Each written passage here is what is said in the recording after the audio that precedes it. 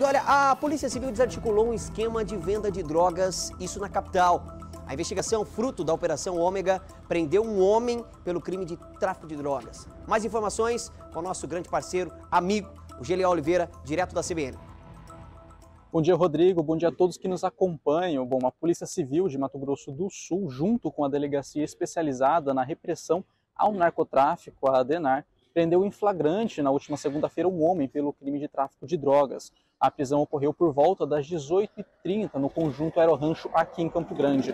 Segundo os policiais, existiam algumas denúncias anônimas de que o autor fornecia drogas na região central da cidade e estaria abastecendo outros traficantes. Com base nesses dados, uma equipe da Adenar conseguiu identificar e prender o suspeito, além de apreender o entorpecente junto com a balança de precisão e dinheiro fruto do, fruto do tráfico. Foram apreendidos 4,4 quilos de cocaína e pasta base de cocaína. A apreensão aconteceu durante mais uma investigação proveniente da Operação Ômega, realizada em caráter permanente pela DENAR. Mais uma apreensão aconteceu aqui em Campo Grande, que desmantelou mais uma organização criminosa aí referente ao tráfico de drogas. Rodrigo, eu volto com você no estúdio.